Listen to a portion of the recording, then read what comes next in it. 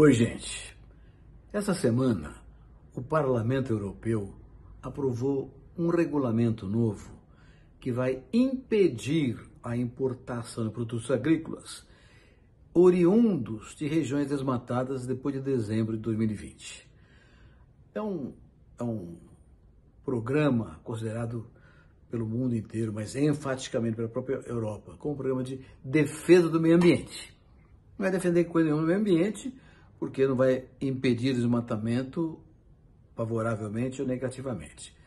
Mas será um problema para todos nós, no Brasil, na Argentina, Indonésia, outros países que exportam produtos agrícolas para a Europa. Produtos foram proibidos dessa condição: cacau, café, madeira, soja, milho.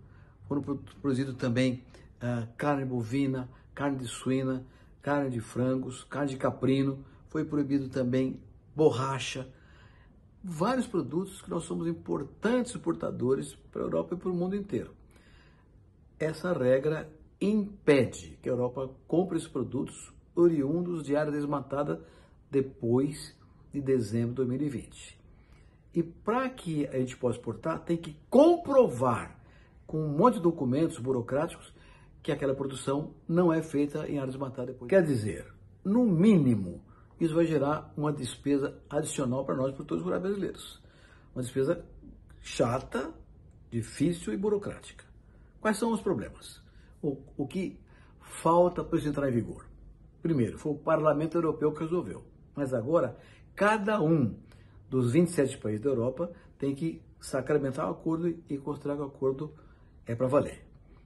Segundo, mesmo com tudo sacramentado, a OMC, que é a Organização Mundial do Comércio, pode achar que isso é uma barreira não tarifária, uma barreira de caráter ambiental para proteger os produtores europeus, como de fato é mesmo.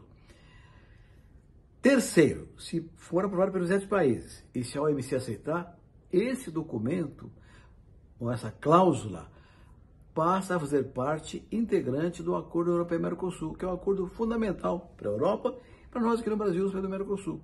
Então, de qualquer forma, é um complicador para a produção agrícola brasileira, para as exportações brasileiras. E, claramente, tem interesse dos produtores europeus.